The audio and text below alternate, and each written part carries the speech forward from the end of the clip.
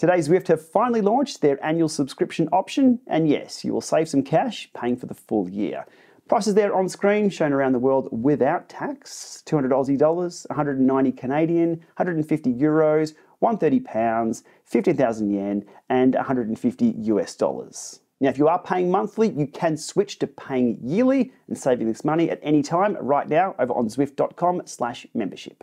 Now, there is a catch to this for those signed up to Zwift via the Apple App Store or the Google Play Store. You'll need to switch your billing over to Zwift Direct. You do that by cancelling your subscription on either of those two services, which doesn't delete your account. Everything still remains in place over on Zwift, but it just changes the billing from those companies over to Zwift Direct, and you'll be good to go. There's a few more things to cover off with this. I'll pull up their FAQ. Will I get a free trial period when I sign up for an annual membership? Uh, no, annual memberships do not come with a free trial. You'll get a 30 day money back guarantee on new accounts. How do annual memberships work? When you sign up for an annual membership, your subscription starts immediately and will renew each year. They say here on their FAQ, don't worry, we'll remind you when your renewal is coming up. If you're an existing monthly subscriber to Zwift and you switch to an annual plan today over on Zwift.com, then your annual plan will start on your next billing cycle date. So, for example, let's say my billing cycle date is December the 4th, and today I sign up to annual.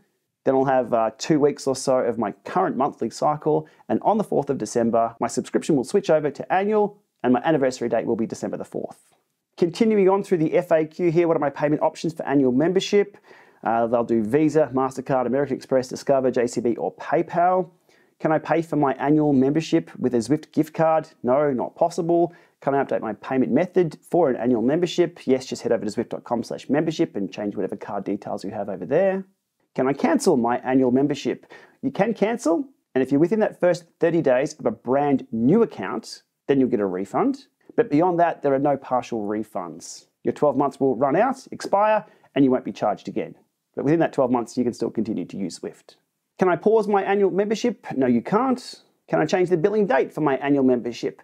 You can't change the billing date, but Zwift do list here that if you cancel and resubscribe on the day you wish to be billed, after your subscription lapses, you can do, it gets a bit tricky. So the easy answer there is you can, but you're gonna have to jump through a few hoops.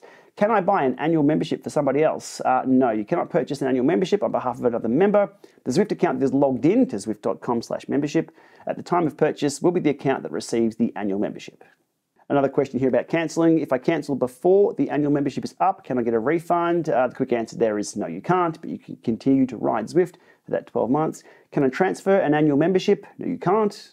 Can I change between annual and monthly memberships? Yep, you can. You can switch between the two. Now, I will assume that switch will happen on your billing cycle date, be that monthly or yearly. So it's probably not something you'll switch to and from a lot. I'm moving to another country. Can I update my annual membership to my new currency before the next billing cycle?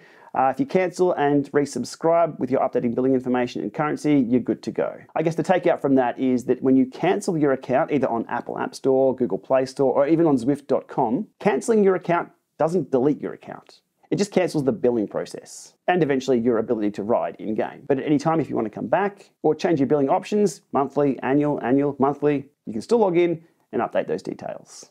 Okay, I think that covers most of the questions that will come through. I'm sure the forums will light up with this and there'll be questions coming in from all angles. I'll put links below to the Zwift forums if you want to jump in there and have a look at other questions people have asked, and I'm sure Zwift are going to answer. In a nutshell, you'll save yourself about 17% switching to the annual plan. And that, for a lot of us, is a good thing.